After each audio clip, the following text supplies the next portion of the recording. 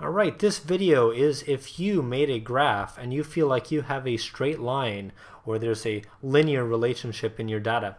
What you want to do now is go into your advanced edit options and then we're going to temporarily turn on the legend. You'll see why in a moment and scroll to the bottom and we're going to add a trend line. A trend line is what Google Sheets calls a line of best fit.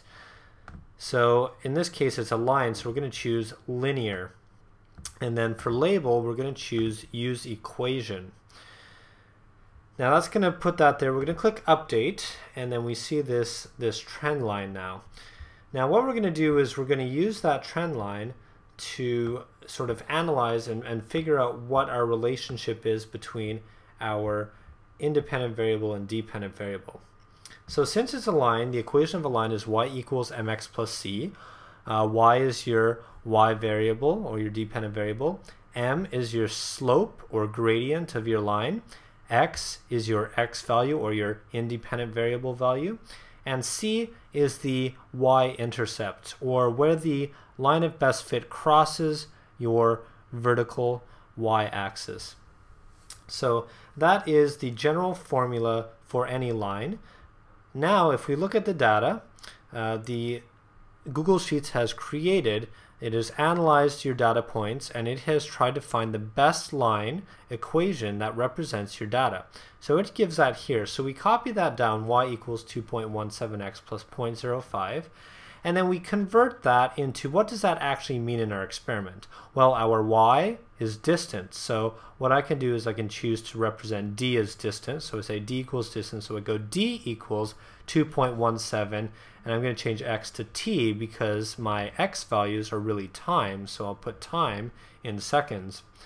And then my y-intercept, I start to think about, well, what, what does that really mean?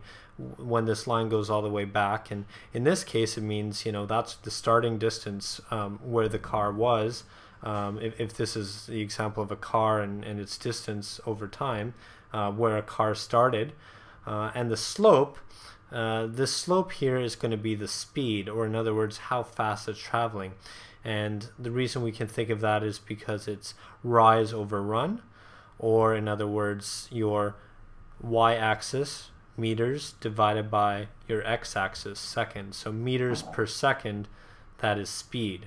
So what this really tells us is this slope, 2.17, the slope tells us that the car is moving 2.17 meters every one second. Or you could say um, 2.1 meters per second. Maybe I'll just write that in there really quickly. Meters per second. Both of those mean the same thing and then the y-intercept tells us the car was 0.05 meters from the starting point when the timer started. So this is just an example of you know what you want to do. You want to get your line equation, then you want to substitute in your values, then you want to figure out what does the slope mean, what does the y-intercept mean. You should be able to try and figure out what those mean. And so as our last step, all we're going to do is go back into our advanced edit and then we're going to turn off that legend because now we already got the equation. We don't need to um, sort of clutter our graph up. Now all of this can go into a lab report